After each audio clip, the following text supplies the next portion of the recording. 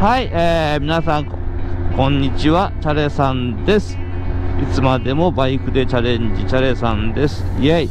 はい、ということでね、はい、今日は12月の、えー、っと、4日の日曜日、はい、時刻は1時40分ぐらいです。はい、もうお昼過ぎてます。えー、乗り始めたのも1時過ぎてから、えー午前中ちょっとね、雨が残っているという予報もあったので、家でのんびりしておりました。はい、ということでね、えー今ちょっとまったりと CB 一人で走らせてるんですけど、えーホワイトベースの二宮さんがライコランドの広島に来ているっていう情報もあって、そこに行こうかなと思ったんですけども、えーなんとなく足が全然違う方向に向いてしまいました。まあね、言ってもね、コラボ動画が撮れるわけじゃないんでね、これ、俺みたいなこう弱小 YouTuber はね、言ってもしょうがねえかと思ってやめました。はい。ねえ、ああいう有名な人とコラボ撮れて、バーンとチャンネル登録者が増えますよって言ったら行くけどさ、まあそうでもないので、まったりと走一人で、えー久しぶりに CB でまったりと、はい。こう1時間走ろうかなと思ってます。急にね、あのー冬将軍がやってきましてですね寒かったんですよ先先週末がね。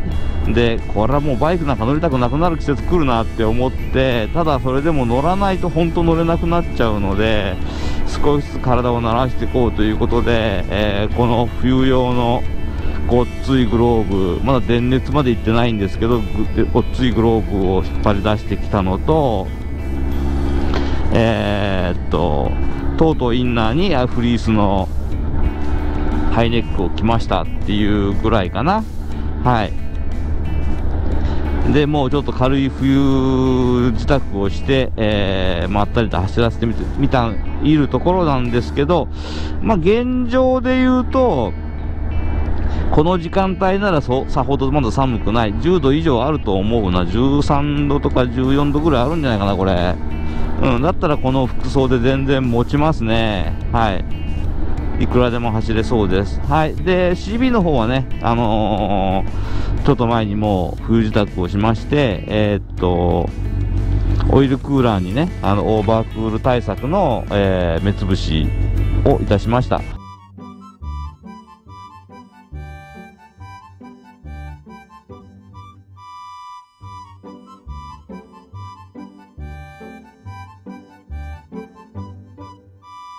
はい。まあ冬はね、もう3000回転ぐらい以下でもまったり走ることがほとんどで、油温が上がらないので、オイルクーラーの目つぶしをいつも3月ぐらいまでしてるかなをしました。それともう一つ、映るかなここ。これです。この、出っ張り、クランクケースの前にある。はい。えー、ついにつけました。はい。えー、ショート動画の方ではね、上がってると思うんですが、こっち側にもね、こっちにもね、はい、上がってると思うんですが、えー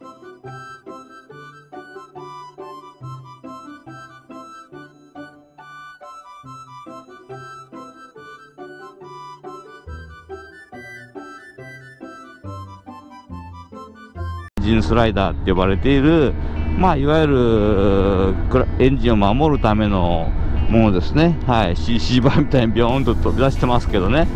CC バー？違うわ。ハイウェイペグ。ハイウェイペグみたいな感じで、はい、飛び出してますけど、はい。えー、フレームに固定するタイプのね、K ファクトリー製のもの、1万6、7千円ぐらいだったかな？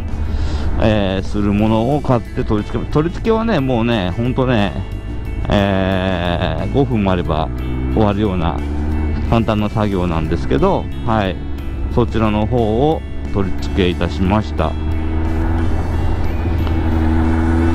えーまあね、その理由っていうのもやっぱり立ちこけ時の損傷防止ですよ。最近よく転ぶんでね、立ちこけ、コテコテって、そんだけ年を取ったっていうことなんですけれども、はい。ということで、こういうものをつけて、ちょっとその新しいものがつけるとですね、もうちょっと、ちょっと2、30キロでもいいから、ちょっと一、一回りぐるっと走っていきたいと思うのが常でして、はい。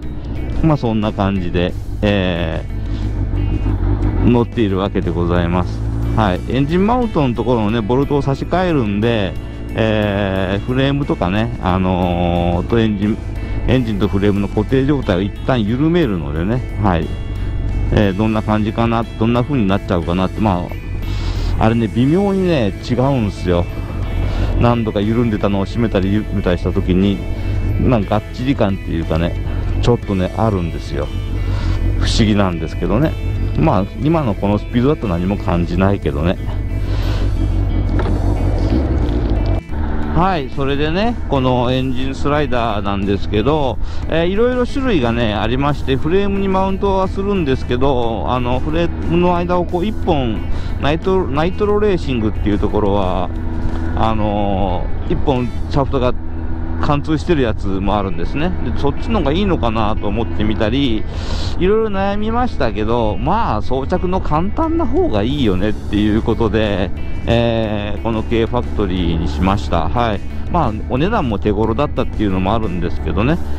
はい。あとまだオーバーとか、いろいろ種類は、やはり、いろいろあるのはあるんですけど、えー、じゃあこのエンジンスライダーが、えー果たしてちゃんと立ちこけした時にしっかり機能するのかっていうとまあそんなに当てにしてはいかんと思っているのでまあはい転ばの先の杖といいますかまあ一応そういうことでけつける形でですね、えー、やっぱり立ちこけもしないように心がけて乗りたいとは思っているところです。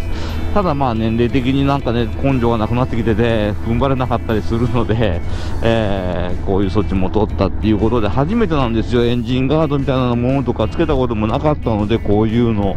なんか結構出っ張っててさっきからずっと見ててさ違和感しかないんだよね。下の見た時に。しょっちゅうこうキョロキョロ下を見てる。だから。うん。まあ仕方ないよね。うん。見慣れぬものがついたのでっていうことなんですけど、はい。まだまだね、CB 走ってもらわなくちゃいけませんし。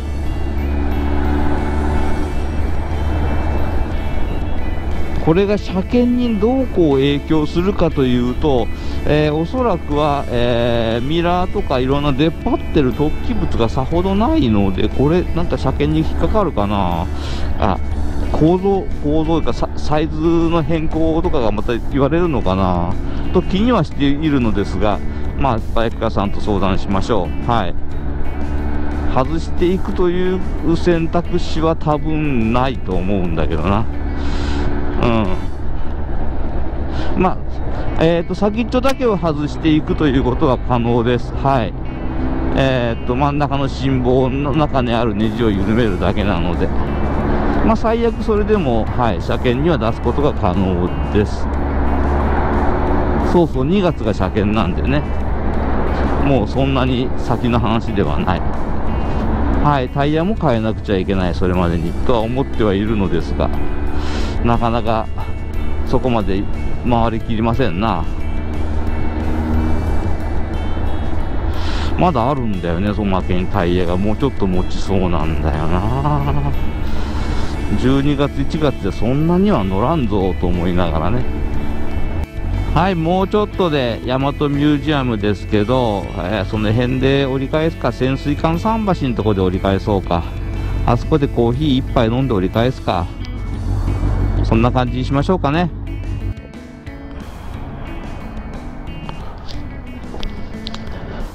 はい、えー、あれ、烏子島。はい、潜水艦桟橋のところに着きました。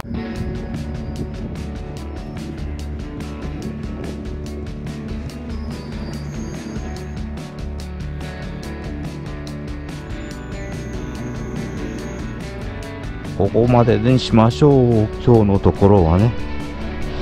はい、えー、これね、エンジンスライダー、こんな感じでつきました。はい、試運転完了です。ということで、また次の動画でお会いしましょう。ではまた、バイバイ。